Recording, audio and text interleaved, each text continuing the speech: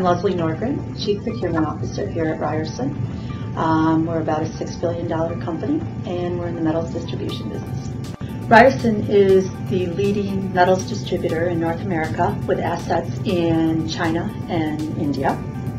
Um, we are heavily based on our inventory, probably 80 to 85% of our asset base is on our inventory.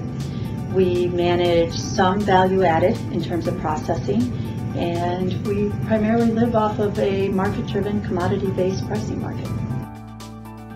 The Reveal wellness assessment becomes a no-brainer. There's not much risk involved in there. So we were willing to jump on that and say, okay, show us what you know, where you see the gaps. When Reveal came in to do the wellness assessment, they were here for a week. And what differentiated them from others that we saw was they didn't want to interface and interview people. They said, give me your data, let me look inside your system, and let me compare what you're doing versus how you have your system set up, which allowed them to present the gaps in what, how we thought we were managing our business and what our buying objectives were to how the system was telling us to buy. Um, and that was very useful to us. Again, when we have companies on the IT side come out, what they tend to do is interview people and then spit back other people's opinions, which those we've all heard before. What we really needed was someone to look at the data and tell us what we were doing and what the system was telling us to do. The fundamentals that we learned as we went through the reveal process um, focused, I think, around buyer productivity and what it would take um, to really get the organization up to the level that we needed to do to, for the buyers to be at. Um, and then we start talking about the exception monitoring and changing the process, which allowed us to become more proactive as opposed to reactive in terms of service levels to our customers.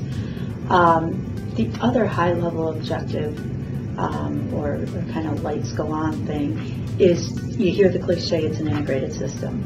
But when you're a buyer on the desk and you're getting demand signals or not getting demand signals through the system, how that affects their job. And it really was through the PAT teams um, to get this process aligned team that is cross functional in the organization to be able to live those rules, those business rules, and get them implemented correctly in the system.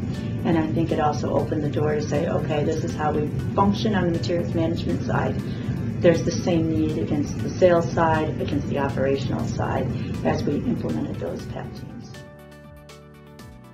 For the reveal process, we were able to um, achieve the results we were looking for, and for us that meant taking our inventory down 20%. Uh, we measure that in terms of tons or in volume. Dollars are important in the end, but we live in a commodity market that fluctuates, so we measure it um, again in terms of volume and tons.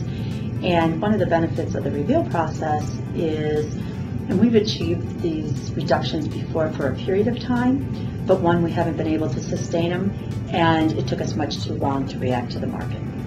So we were able not only to achieve it, but achieve it in a shorter time than we have in the past.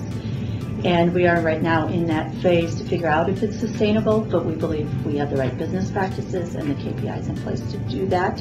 And we actually believe we can take more out of our inventory and increase our velocity and turns and uh, days of supply to even a, leaner level than we're functioning today.